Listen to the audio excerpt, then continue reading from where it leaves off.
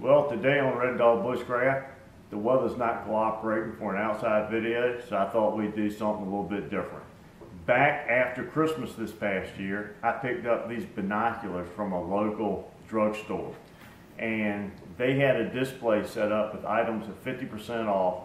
These binoculars, Yorkshire 7 by 50 binoculars, were $9.99 and they were listed as 50% off. Now I have a good set of binoculars for when I'm out in the field, but I've seen on multiple videos how people have taken binoculars and taken them apart and used the, the magnifying lens in there to start fires. And I would love to have a really good burning lens. So I thought we would take this, tear it apart, look at what I carry in my everyday carry bag, the type of stuff that I would have when I was out on a hunting or fishing trip and see if I can get the lens out of this without breaking it. Now we may start by just uh, disassembling this and taking it and uh, just working with half of it so that I can use the other half for another demonstration at another time. But uh, stay with me and I'll show you the steps as I progress along.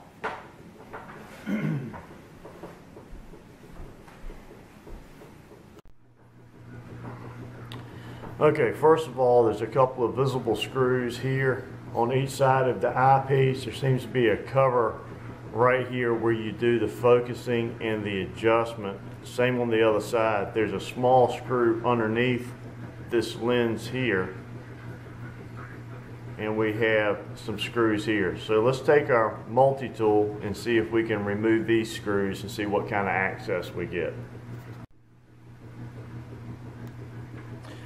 Okay, so we'll start by disassembling this side over here.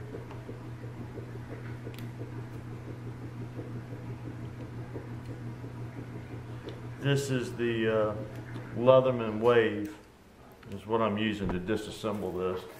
I'll take one of these caps, set it here, and we'll put our parts in there. Tight angle there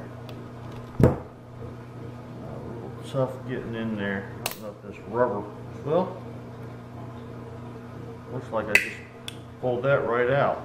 So, all right, well that took care of an eyepiece and there looks to be a couple of lenses in there. That plastic broke off without a whole lot of effort at all.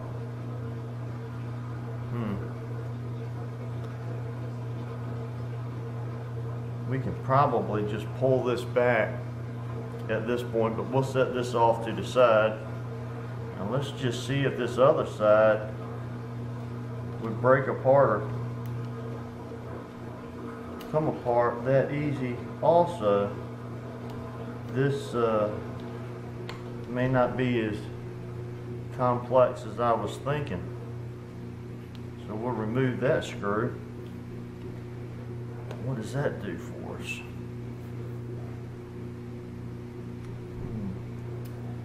Go to the flat side of the screwdriver here.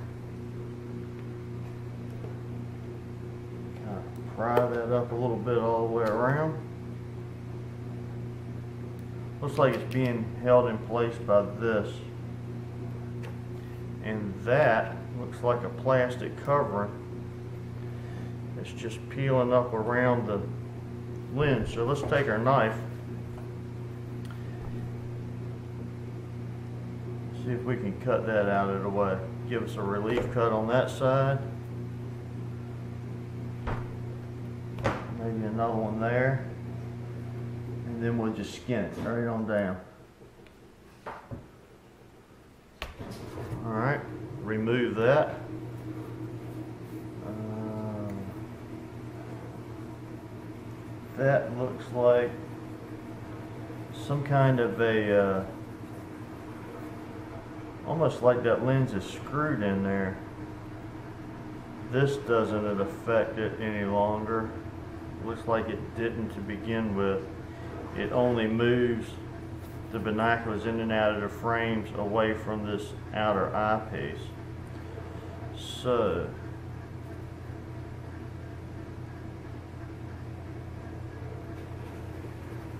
okay, there is a rubber gasket in there, or some type of a hard plastic. Oh, and that's the lens on the other side, of that piece of hard plastic that I was pushing on, and I could hear the glass starting to crack. We do not want to do that, or that grinding noise. Uh, I can't seem to push it one way or the other. Let me cut the camera off and fiddle with this for a minute and I'll bring you right back as soon as I figure out how this lens comes out. Okay, so actually after starting to pry on this base plate here, I found that this just screws off.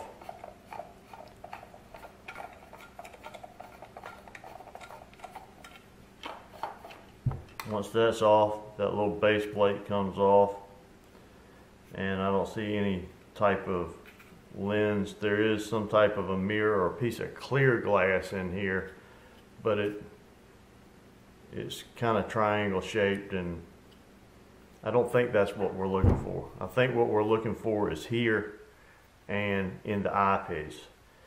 So I can put my finger on the inside of it and I can feel the thickness of the glass. And this thing feels pretty thick. I'd say just by feel, maybe almost a quarter of an inch or so, at least three eighths I would say.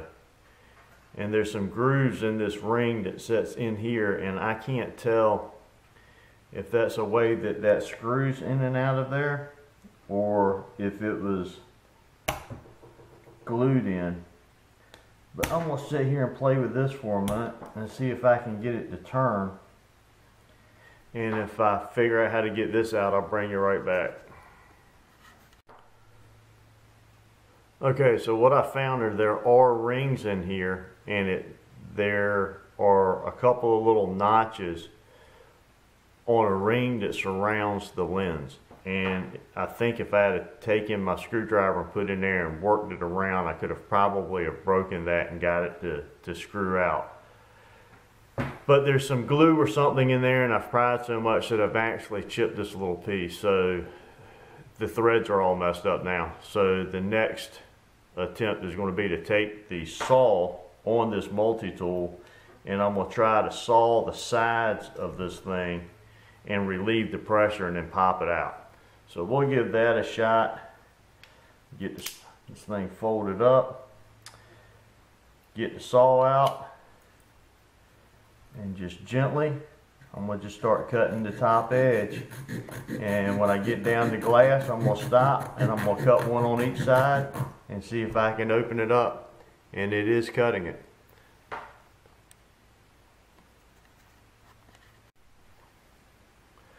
Okay, just so you can see the process, I've already made three cuts here. So I'm going to go straight across from this deepest one. And just want to show you how easy this plastic is cutting with the saw on this multi-tool.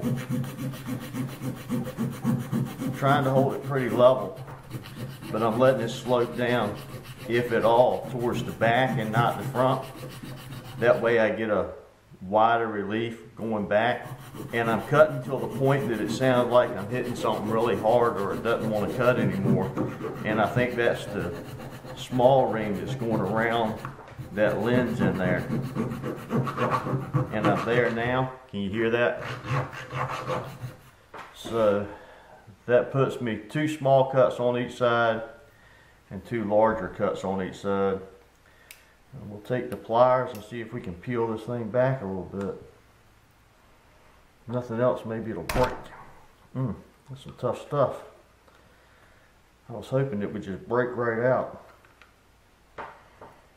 I can definitely see it prime, but there is a lot of resistance. And like I said, I don't want to break the glass. It's kind of the purpose of buying this thing was to try to get a decent lens out of it for starting fires.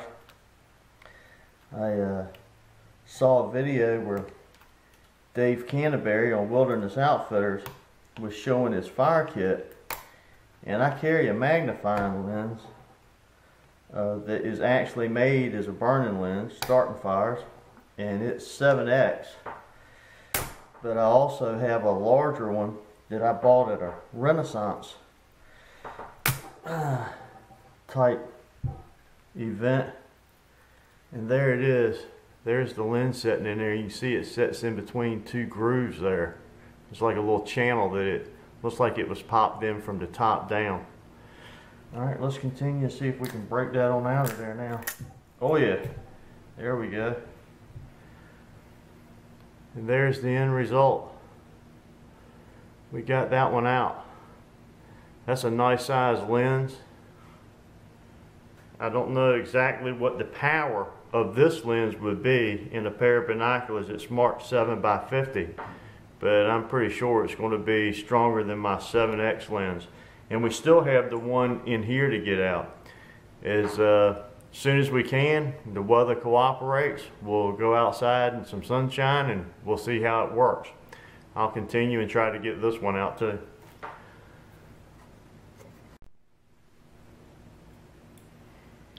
Okay, after seeing how the other end went together, I just started peeling this thing apart with the multi-tool and it feels loose now. I think we're really close.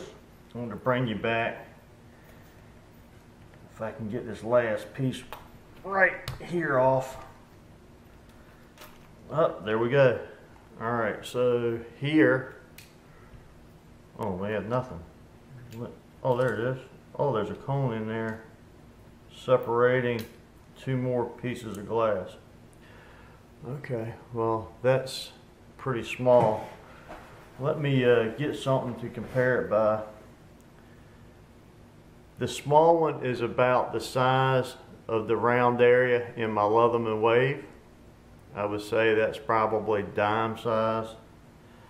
Uh, this one sitting on the Leatherman Wave, it's probably not very clear.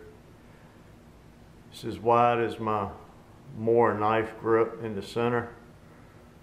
Uh, will set them both on there. So I say probably quarter size, dime size, and of course the one we were actually after. So that's uh, that's what we wound up with. I have no idea.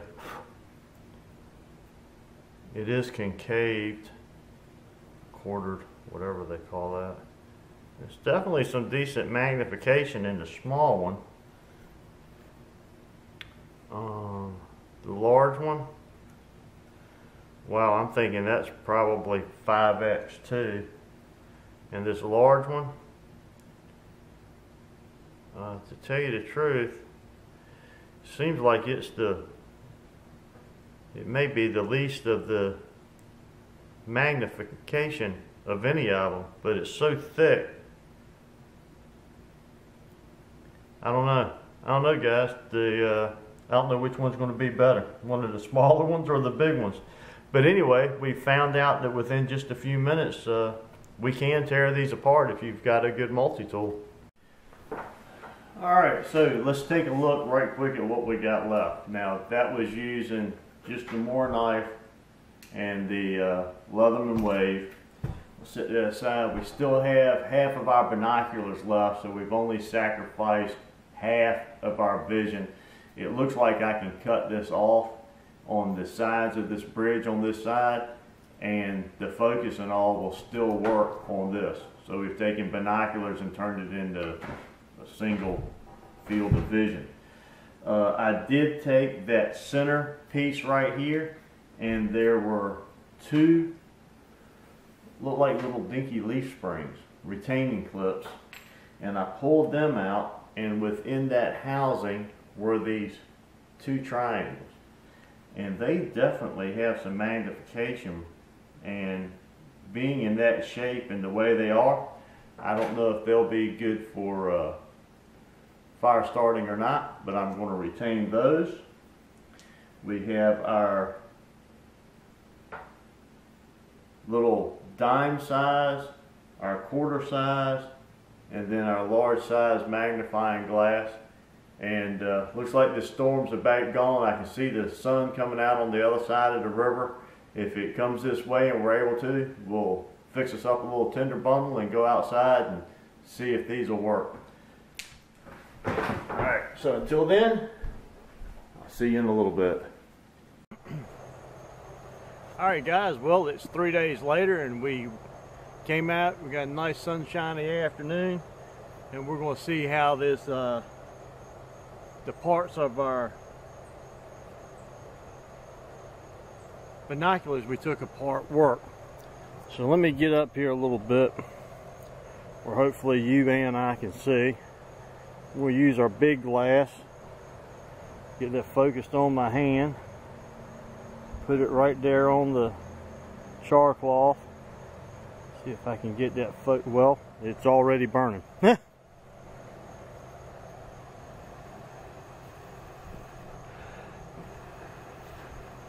right, so the, uh, well that was two pieces.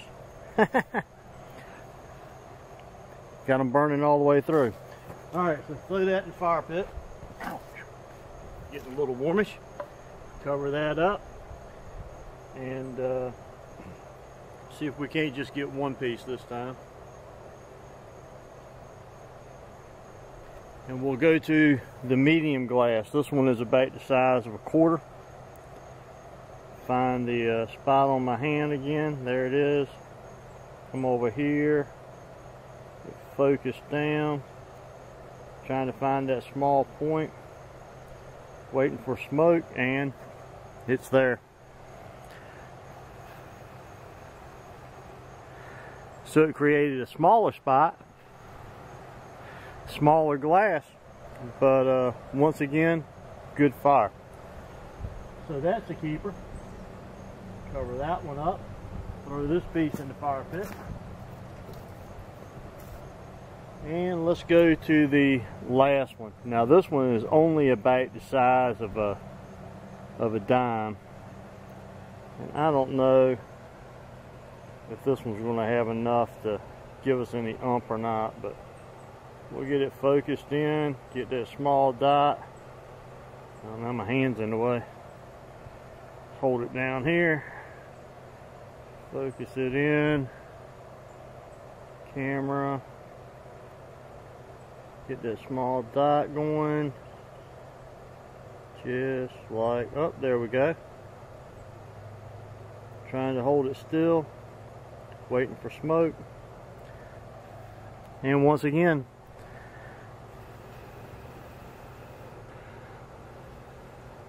Okay, so out of that pair of binoculars, we wound up with three good burning lenses. Once again, the large one, about the size of the palm of my hand. One about the size of a quarter, and one about the size of a dime. So we'll take these and add them to our kits, and uh, we'll have another way of starting fires.